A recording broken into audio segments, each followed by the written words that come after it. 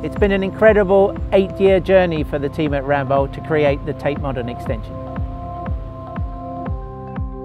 Having played an integral role across structural, geotechnical, facade, environmental consultancy and civil engineering, it's amazing to be stood in front of this incredible building now.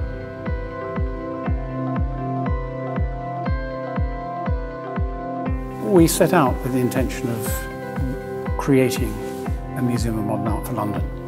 The new part of the building has a greater variety of spaces.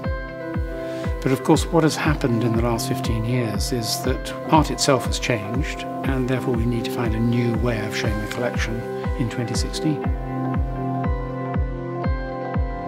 When Herzog and de Meuron delivered their ambition to create a facade of awe-inspiring brickwork, we were excited by their ambition and knew it would require something special.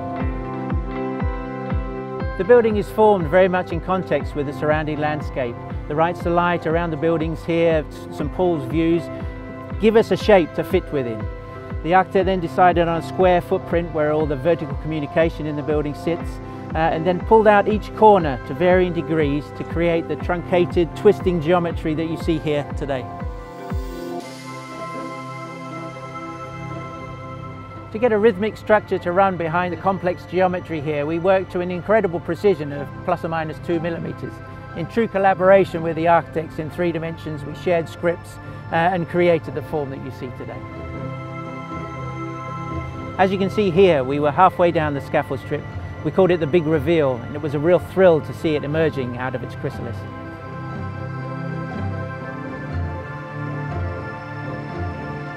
Around 100 people across many disciplines from Ramboll were involved in realizing this iconic and ambitious building. The Tate is as much a feat of design and construction as a testimony for dedication, imagination and perseverance. For me, this represents Ramboll at its best. I'm very proud that we've been able to contribute with such an iconic world-class addition to London skyline. Over the past eight years, it has been a dream come true to work on such a high-profile project with the scale and the complexity of Tate Modern. It's been a privilege to work with such a talented and dedicated project team who have had one vision and that was to create this truly incredible building.